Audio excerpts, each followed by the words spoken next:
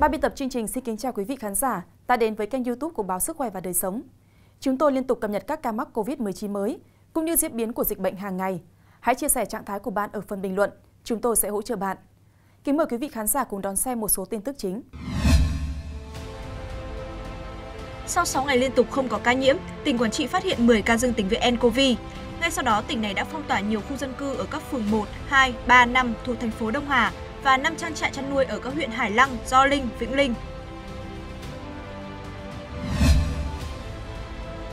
Giám đốc Sở Giao thông Vận tải Vũ Văn Viện cho biết, Sở đang đề xuất thành phố xem xét cho các shipper ra đồ ăn được hoạt động trở lại tại 19 quận huyện vùng xanh. Tuy nhiên, chỉ hoạt động ra đồ ăn được khôi phục, các hoạt động chở khách vẫn bị cấm.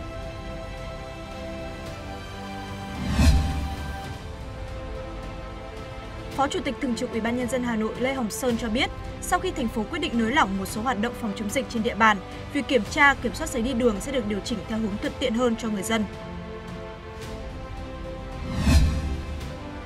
Sở Nội vụ Thành phố Hồ Chí Minh đề xuất từ mùng 1 tháng 10, không quá 1 phần 3 cán bộ, công chức, viên chức, người lao động tiêm đủ 20 vaccine hoặc có thẻ sinh Covid được tới trụ sở làm việc.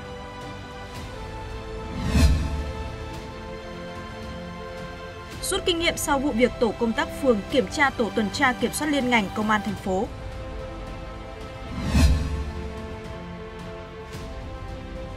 Tại Đà Nẵng, người dân khu vực đường Trần Duy Chiến đã có phản ánh về một nhóm nam nữ tụ tập giữa lúc đang giãn cách xã hội, có biểu hiện nghi vấn liên quan ma túy.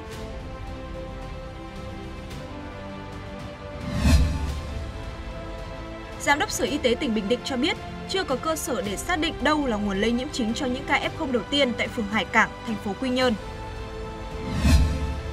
Ủy ban nhân dân thành phố Uông Bí cho biết, cơ quan chức năng vừa xác minh làm rõ và khẳng định clip có hình ảnh một người được đưa vào phòng cấp cứu và ghi mô tả bên dưới tiêm vaccine Sinopharm tại trường tiểu học Lê Lợi, thành phố Uông Bí, Quảng Ninh chiều nay là thông tin sai sự thật. Đó là những thông tin sẽ có trong bản tin toàn cảnh Covid ngày hôm nay. Sau đây là nội dung chi tiết.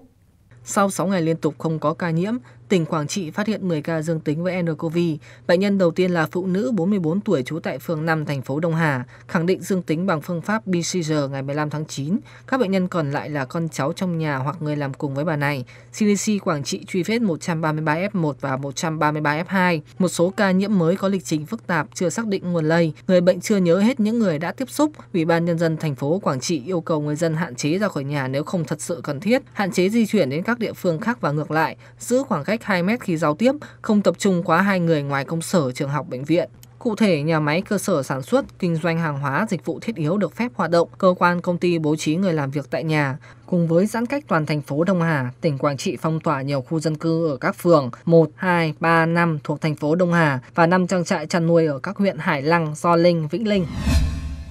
Giám đốc Sở Giao thông Vận tải Vũ Văn Viện cho biết, Sở đang đề xuất thành phố xem xét cho các shipper giao đồ ăn uống được hoạt động trở lại tại 19 quận huyện vùng xanh. Tuy nhiên, chỉ hoạt động giao đồ ăn được khôi phục, các hoạt động chở khách vẫn bị cấm. Về việc các shipper công nghệ có phải đăng ký khi hoạt động trở lại không, ông Viện cho biết, quan điểm của Sở Giao thông Vận tải là các shipper hoạt động theo điều kiện quy định, không phải xin phép. Các cơ quan chức năng kiểm tra xử lý khi không thực hiện đúng quy định. Những nhân viên vận chuyển shipper có trách nhiệm chụp lại màn hình tin nhắn xác nhận của Sở Giao thông Vận tải và xuất trình khi lực lượng chức năng yêu cầu. Hiện có 19 quận huyện, thị xã đáp ứng tiêu chí không có ca cộng đồng tính từ ngày 6 tháng 9, gồm 6 quận: Ba Đình, Bắc Từ Liêm, Long Biên, Nam Từ Liêm, Cầu Giấy, Tây Hồ và 13 huyện thị xã: Ba Vì, Đan Phượng, Gia Lâm, Hoài Đức, Mê Linh, Mỹ Đức, Phú Xuyên, Phúc Thọ, Quốc Oai, Sóc Sơn, Sơn Tây, Thanh Oai, Ứng Hòa. Theo quyết định nới lỏng của thành phố, từ 12 giờ ngày 16 tháng 9, các quận huyện này được phép bán hàng ăn mang về, mở lại cửa hàng văn phòng phẩm, dịch vụ sửa chữa máy tính. Phó Chủ tịch Thường trực Ủy ban nhân dân thành phố Hà Nội Lê Hồng Sơn cho biết, sau khi thành phố quyết định nới lỏng một số hoạt động phòng chống dịch trên địa bàn, việc kiểm tra kiểm soát giấy đi đường sẽ được điều chỉnh theo hướng thuận tiện hơn cho người dân. Cụ thể, ông Sơn cho biết, người dân khi di chuyển trong các khu vực vùng xanh, 19 quận huyện thị xã trong trạng thái bình thường mới, theo đánh giá của Sở Y tế, sẽ không phải xuất trình giấy đi đường. Tuy nhiên, ở vùng đỏ, người dân vẫn phải tuân thủ nghiêm quy định giãn cách theo chỉ thị 16, chỉ ra đường khi thật cần thiết. Phó Chủ tịch Thường trực Lê Hồng Sơn cũng cho biết thêm ngày 16 tháng 9, Ban Thường vụ Thành ủy Hà Nội họp và thảo luận chi tiết về các biện pháp nới lỏng sau ngày 15 tháng 9 và ngày 21 tháng 9. Ông nhấn mạnh các giải pháp sẽ đưa ra trên đặc thù dân cư, tình hình dịch bệnh của từng địa bàn để đưa ra phương án phù hợp. Ông Sơn cho biết, thành phố sẽ tạo điều kiện để đáp ứng nhu cầu của người dân như mua đồ online, đồ ăn uống mang về ở một số quận huyện được cho phép trở lại. Sở Nội vụ thành phố Hồ Chí Minh đề xuất từ mùng 1 tháng 10, không quá 1 phần 3 cán bộ, công chức, viên chức, người lao động tiêm đủ 2 mũi vaccine hoặc có thẻ luồng xanh COVID được tới trụ sở làm việc. Giám đốc Sở Nội vụ thành phố Hồ Chí Minh Huỳnh Thanh Nhân ký tờ trình gửi Ủy ban nhân dân thành phố Hồ Chí Minh về thay đổi phương thức làm việc của các cơ quan đơn vị nhà nước phù hợp với các biện pháp phòng chống dịch COVID-19 trên địa bàn thành phố. Giai đoạn 1, từ ngày 1 tháng 10 đến hết 31 tháng 10, các cơ quan đơn vị chỉ được bố trí tối đa 1 phần 3 tổng số cán bộ công chức, viên chức, người lao động đã tiêm đủ hai mũi vaccine hoặc được cấp thẻ xanh làm việc tại trụ sở. Các cơ quan đơn vị có nhu cầu bố trí nhiều hơn phải được Ủy ban nhân dân thành phố Hồ Chí Minh chấp thuận bằng văn bản.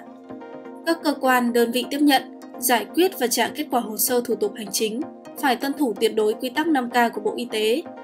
Trường hợp các thủ tục đã được cung cấp dịch vụ công trực tuyến mức độ 3-4, các cơ quan đơn vị phối hợp với các đơn vị bưu chính, công ích tiếp nhận, giải quyết và trả kết quả qua dịch vụ bưu chính. Các cơ quan, đơn vị có trụ sở tại các địa phương đã được cơ quan có thẩm quyền công bố kiểm soát được dịch COVID-19, khuyến khích sử dụng dịch vụ công trực tuyến cấp độ 3-4 và trả kết quả qua dịch vụ bưu chính.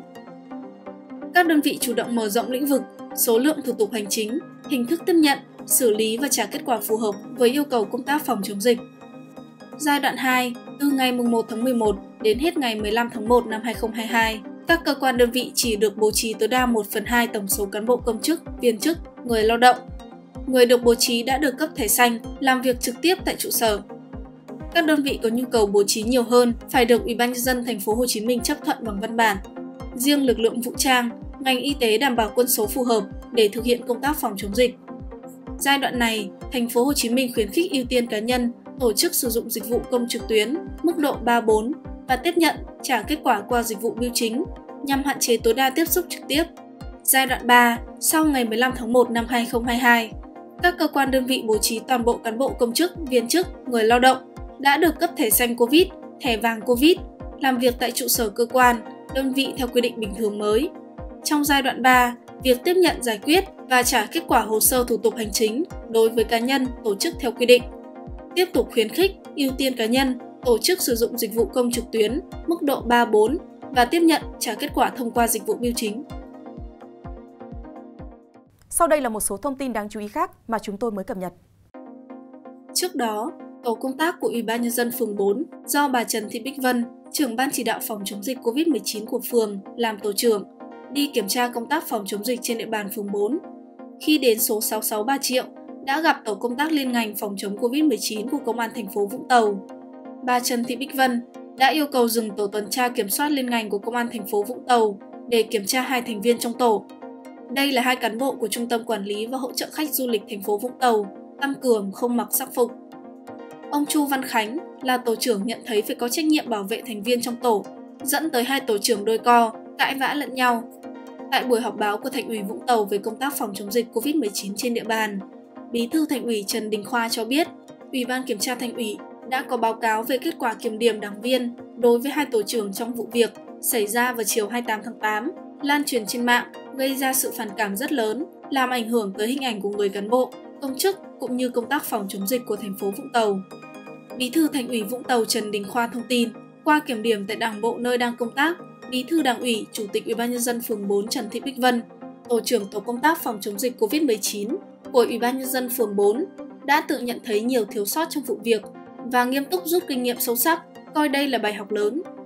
Phó đội trưởng đội cảnh sát giao thông, trật tự công an thành phố Vũng Tàu Chu Văn Khánh, tổ trưởng tổ tuần tra kiểm soát liên ngành công an thành phố Vũng Tàu đã tự nhận khuyết điểm về những hạn chế thiếu sót trước tổ chức đảng và hứa sẽ sửa chữa khuyết điểm, không để tái phạm và xin nhận mọi hình thức kỷ luật mà tổ chức đảng kết luận. Cũng tại buổi họp báo, Thượng tá Nguyễn Văn Luyện, trưởng công an thành phố Vũng Tàu đã trả lời báo chí cho biết, chỉ có lực lượng thanh tra, điều lệnh của Bộ Công an, Công an tỉnh và Công an thành phố cấp trên theo kế hoạch hoặc đột xuất mới có thẩm quyền kiểm tra, tổ tuần tra kiểm soát liên ngành trên. Mới đây, người dân khu vực Trần Duy Chiến phản ánh về một nhóm nam nữ tụ tập tại nhà bà Hát, 37 tuổi, ngụ tại K152 Trần Duy Chiến, có biểu hiện nghi vấn liên quan đến ma túy công an phường Mân Thái đã ập vào nhà bà Hát, bắt quả tang bà Hát cùng ba người đàn ông là Hát, 39 tuổi, ngụ tại phường Phước Mỹ, quận Sơn Trà, V 34 tuổi và L 43 tuổi, cùng ngụ tại phường Mân Thái, đang sử dụng trái phép chất ma túy. Theo điều tra ban đầu, ba người đàn ông tìm chỗ để phê ma túy, nhưng các cơ sở kinh doanh dịch vụ lưu trú trên địa bàn vẫn đóng cửa do dịch COVID-19, nên H và V đã liên hệ với bạn là bà H. Bà hát đồng ý cho cả ba đến nhà, còn cung cấp đồ nghề sử dụng và cùng cả nhóm phê ma túy. Công an phường Mân Thái lập biên bản cả nhóm về việc vi phạm phòng chống dịch COVID-19 do tụ tập đông người trong thời gian giãn cách xã hội, đồng thời chuyển công an quận xử lý hành vi liên quan đến ma túy. Ông Lê Quang Hùng, Giám đốc Sở Y tế tỉnh Bình Định cho biết, vẫn chưa có cơ sở để xác định đâu là nguồn lây nhiễm chính cho những ca F0 đầu tiên tại phường Hải Cảng, thành phố Quy Nhơn. Ông Hùng cũng đưa ra nhận định, phát hiện rất nhiều ca dương tính nên nghi vấn nguồn lây dịch bệnh tại khu dân cư này có thể bắt nguồn từ ngoài tỉnh. Theo ông Hùng, qua phân tích các ca bệnh từ tài xế tại phường Hải Cảng, thì xác định những người này đã mắc bệnh từ 10 đến 12 ngày. Ông Hùng cho rằng điều quan trọng nhất trong thời điểm này là phát hiện sớm, bao vây, khoanh vùng, xử lý ổ dịch triệt đề, tránh để lây lan trên diện rộng, không để bùng phát thành ổ dịch lớn, tổ chức điều trị các ca mắc bệnh thật tốt, giảm thiểu tối đa di chứng và tử vong. Ông Ngô Hoàng Nam, Chủ tịch Ủy ban nhân dân thành phố Quy Nhơn cho biết, thành phố đã xác định được ổ dịch lớn nhất là ở phường Hải Cảng với 28 ca COVID-19 và từ đây lây lan ra 5 phường của thành phố. Hiện tại, Quy Nhơn đã tiến hành phong tỏa các ổ dịch, tầm soát PCR trong khu vực lõi dịch trong vòng bán kính 50 m, các hộ dân liên quan, phong tỏa 5 phường trong thời gian 48 tiếng đồng hồ kể từ 0 giờ ngày 16 tháng 9 để truy vết, bóc tách các F1, F2 liên quan. Trước đó, một tài xế xe tải trú tại khu vực 4, phường Hải Cảng đến trạm y tế phường test nhanh kháng nguyên SARS-CoV-2 và có kết quả dương tính. Sau đó, tài xế này cùng 7 người thân trong gia đình có kết quả xét nghiệm PCR dương tính với SARS-CoV-2. Ngay sau đó, Bí thư Đảng ủy và Chủ tịch Ủy ban nhân dân phường Hải Cảng bị tạm đình chỉ công tác để kiểm điểm, làm rõ trách nhiệm trong công tác lãnh đạo, chỉ đạo phòng chống dịch COVID-19. Ủy ban nhân dân thành phố Uông Bí cho biết, cơ quan chức năng vừa xác minh làm rõ và khẳng định clip có hình ảnh một người được đưa vào phòng cấp cứu và ghi mô tả bên dưới tiêm vaccine Sinopharm tại trường tiểu học Lê Lợi, thành phố Uông Bí, Quảng Ninh chiều nay là thông tin sai sự thật. Lực lượng chức năng thành phố Uông Bí khẳng định hình ảnh trong clip không phải trường tiểu học Lê Lợi, bởi trong đợt tiêm chủng vaccine phòng COVID-19 được thành phố Uông Bí thực hiện từ ngày 13 tháng 9. Trường tiểu học Lê Lợi không được trưng dụng làm điểm tiêm chủng cho người dân. Qua đây, lực lượng chức năng khuyến cáo người dân không đăng tải, bình luận chia sẻ những thông tin chưa được kiểm chứng, thông tin giả mạo, sai sự thật nói chung, đặc biệt là các thông tin sai sự thật liên quan đến công tác phòng chống dịch bệnh COVID-19. Đối với những trường hợp vi phạm, cơ quan chức năng sẽ xử lý nghiêm theo quy định của pháp luật. Bản tin toàn cảnh COVID-19 sáng 17 tháng 9 xin được kết thúc tại đây. Hãy nhớ bấm like và theo dõi kênh thông tin chính thức về dịch bệnh của báo Sức khỏe và đời sống, cơ quan của Bộ Y tế để có được những thông tin chính xác nhất. Xin chào và hẹn gặp lại.